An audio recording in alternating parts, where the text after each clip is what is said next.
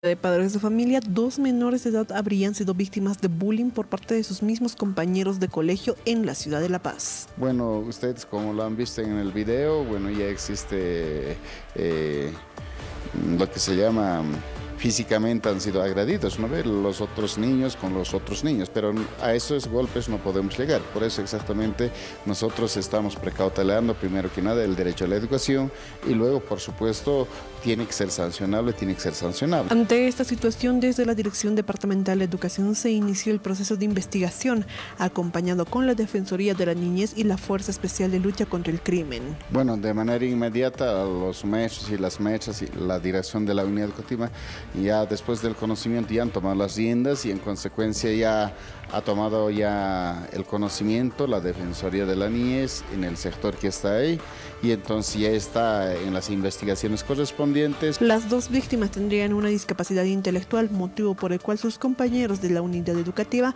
habrían atentado contra ellos. El informe oficial sobre estos hechos y las sanciones correspondientes se conocerán el día martes de la siguiente semana.